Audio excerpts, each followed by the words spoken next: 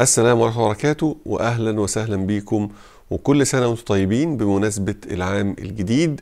والنهاردة هنشوف التحدي الأخير في سنة 22 من تحديات Power Query واللي هنشوف الإجابة بتاعته أو الحل بتاعه في السنة الجديدة إن شاء الله.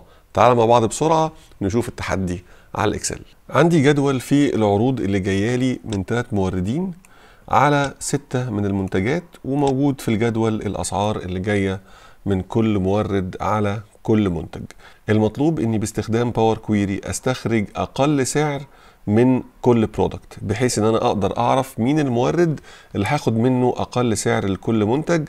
مش بس كده كمان أجيب اسم المورد اللي إداني أقل سعر. يعني مثلا product 1 أقل سعر عندي 7.9 وده فعلا ال minimum price. وكمان أجيب اسم ال vendor اللي جاب السعر ده وهو في الحالة دي vendor رقم واحد.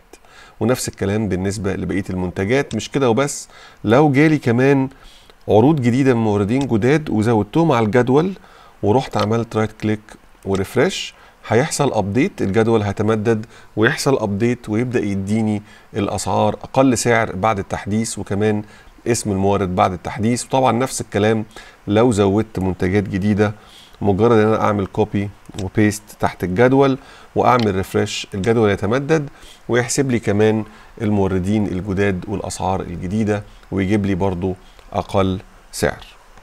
أعتقد إن تحدي مش صعب قوي أتمنى يكون ظريف حاجة تسالي نفسك بيها وقت الإجازات.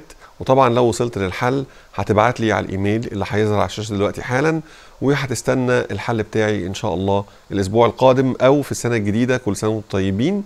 وطبعا كالعادة هرد على كل الناس اللي بعتت لي حلول ولو عملت حل مظبوط أو حتى وصلت لجزء من الحل هتلاقي اسمك موجود في نهاية الفيديو بتاع الحل في السنة الجديدة أو في الأسبوع الجاي إن شاء الله. بالتوفيق والسلام عليكم ورحمة الله وبركاته.